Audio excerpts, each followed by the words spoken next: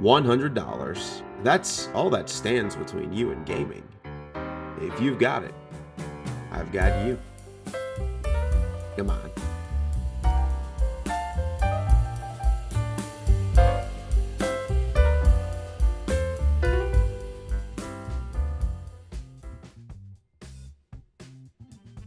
Right off the bat, we need to establish a few things. Let me tell you what this PC is not. It is not a high-end gaming rig or some secret FPS monster, but it has one trick up its sleeve, AM4. At this price point, it's a luxury to be able to buy a system that can game today and have a very healthy upgrade path. A particularly nice path because this ASRock Fatality board can be upgraded to Ryzen 5000 allowing a compatibility with one of the best gaming CPUs in the world. Historically, at this price point, we would have a CPU that predates Katy Perry's Roar. Speaking of CPU, we have the Ryzen 5 2400GE, a 4-core, 8-thread CPU that many gamers will remember fondly from the GPU apocalypse. It was a perfect placeholder to get you gaming till prices return to normal. They would return to normal, right? right? For our GPU, we have the Ryzen 5 2400GE, a 4-core 8 th Wait, I just read this. Yeah, but seriously, this is where our compromise lay. Instead of the performance a GT 710 or 1030 may offer now, we traded that for an upgrade path. But I still think it's worth it. The few extra frames today that the GT 710 may offer will hurt you when you go to upgrade, and you will need a whole other platform again. To maximize our Vega 11's performance, we allocated 2GB of our system RAM to VRAM in the BIOS.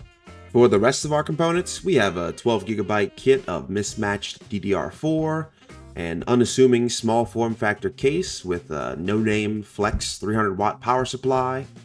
It is, however, a nice touch to have an NVMe SSD at this price point, even if it is SATA. For all of this, I paid $107.99 including shipping. For reference, the cheapest AM4 ITX motherboard that I could find on eBay right now is over $100. In fact, the cheapest AM4 motherboard, regardless of size, was over $55. Now look, I know we could build a better PC if we utilize Facebook Marketplace. I recently grabbed an i7 12700K and 3070 system for $360, but I wanted to put together something that is repeatable and comes with buyer protections. In case you didn't know, if a seller marks a listing as used condition on eBay, it must be in fully functioning condition regardless of what their description says. I have returned several items to unscrupulous sellers that resulted in a full refund. Starting off our benchmarks, I was very pleasantly surprised. I knew Valorant was easy to run, but I didn't know it was this easy. 1080p lowest settings, we averaged 93 FPS with 50 FPS for our 1% lows and 4 as the 0.1%. The 0.1% lows I found were not representative of the overall experience. It was genuinely very smooth, and as it was my first time playing Valorant, had me wanting to play even more. I found the 0.1% lows were mostly a result of having the spike explode and kill you. If Valorant was surprisingly smooth, Minecraft was surprisingly ass.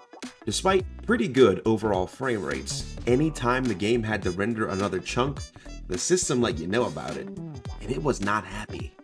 At 720p lowest settings with a 5 chunk render distance, we saw average frame rates of 59 with 29 and 15, 1% and 0.1% lows respectively.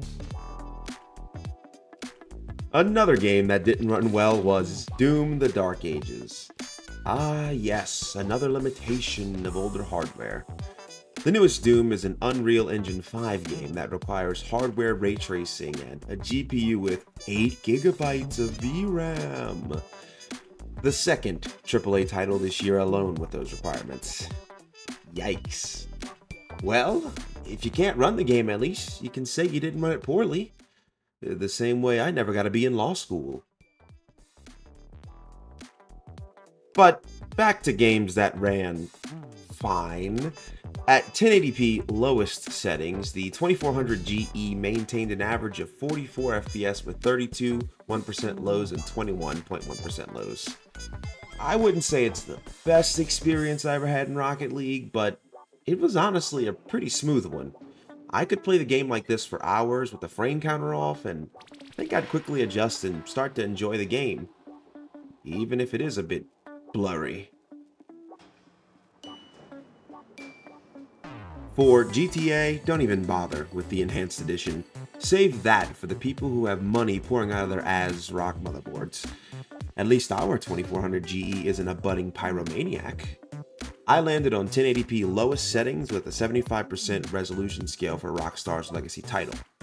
The experience was lively. Honestly, if you wanted to load in and don't mind the textures or lack thereof, I played for about 30 minutes through the first opening missions and it went off without much fuss. Or fidelity. Averaging out the benchmarks, we saw the 2400 GE average a respectable 46 FPS. It's over the 30 FPS I was accustomed to being a console gamer for so long. Less respectable are the 1% and 0.1% lows of 33 and 15 representing an overall uneven experience. For $100, you'd be best off playing older AAAs, esports, and indie games. But that still leaves you with thousands of options.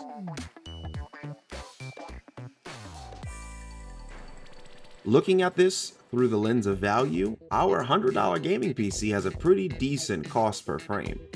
For every frame generated, it costs us $2.31. Not bad. For reference, if you spent $500 and averaged 200 FPS, that would still cost you 250 per frame. But looking at the system more holistically, it was perfectly fine for everyday use, and that's the main benefit of a system like this. When you're not gaming, you still have a fully functioning PC that you can use for schoolwork, or office work, or general browsing. And with so many programs being hosted on the cloud, you can even 3D model on a site like Tinkercad. Potatoes have come a long way. So now, the big question. Would I recommend this? Honestly, yes. There are ways to assemble something that performs better today. I don't disagree.